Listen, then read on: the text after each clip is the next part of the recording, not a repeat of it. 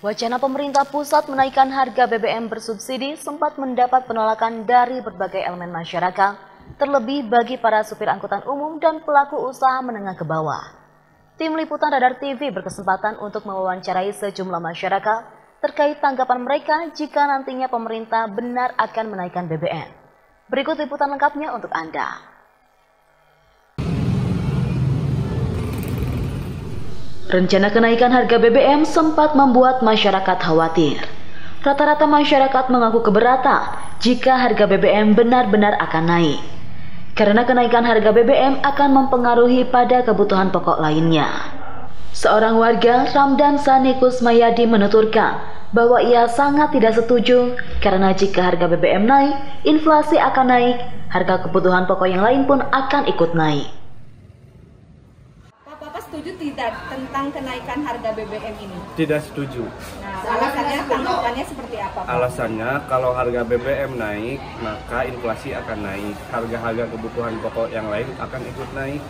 Jadi sebisa mungkin harga BBM jangan dinaikkan.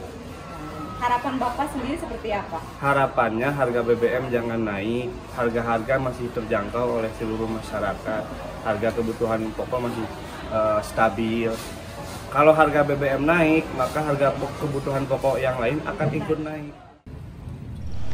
Senada dengan Ramda, Rahmat juga menolak kenaikan harga BBM. Siapa pun pemimpin negaranya BBM itu nggak boleh ditolak kenaikannya. Ya, hitung-hitung diperhitungkan harusnya yang hidup di bawah kemiskinan ini bagaimana pendapat pemerintah? Apa itu bisa dikutip?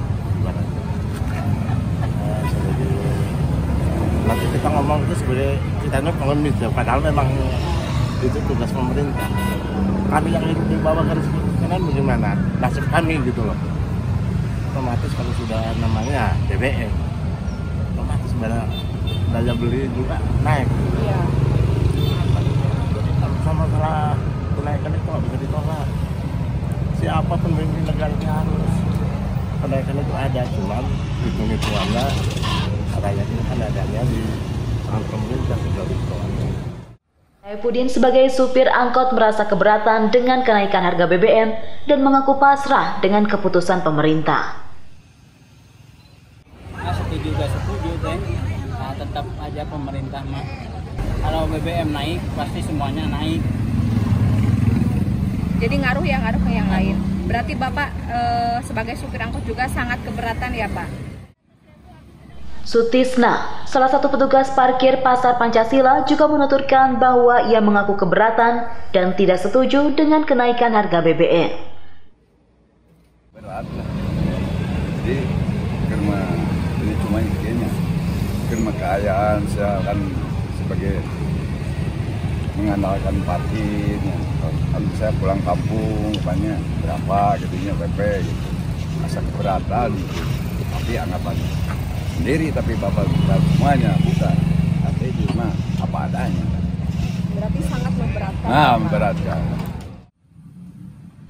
Dari pemaparan sejumlah warga, rata-rata masyarakat kota Tasikmalaya menolak dan mengaku keberatan dengan rencana naiknya harga BBM karena hal tersebut akan berimbas pada banyak hal lainnya.